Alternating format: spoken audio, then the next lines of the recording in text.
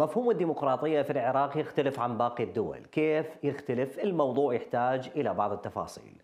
الكل يعلم أن الانتخابات هو جزء من هذا المفهوم الكبير وأن احترام نتائج الصندوق والقبول به هو قمة الفهم الديمقراطي. لكن هذا خارج العراق مو يمنه لأن مع كل عملية انتخابية لا يتم الاحتكام للنتائج والتجارب السابقة والحالية خير دليل على ذلك.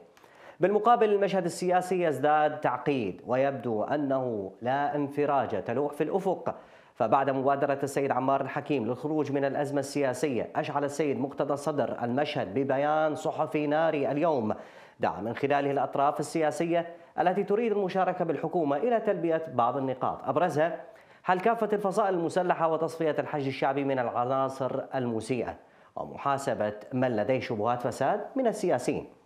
فما بين المبادرة التي رحب بها الإطار التنسيقي وبيان السيد مقتدى يقف الجميع لمتابعة الوضع العراقي ومراقبة بيان المفوضية للنتائج في الأسبوع القادم. ورصد كل الأطراف خاصة المعترضة التي تعودنا عليها التصعيد أيام الخميس والجمعة أمام بوابات الخضراء.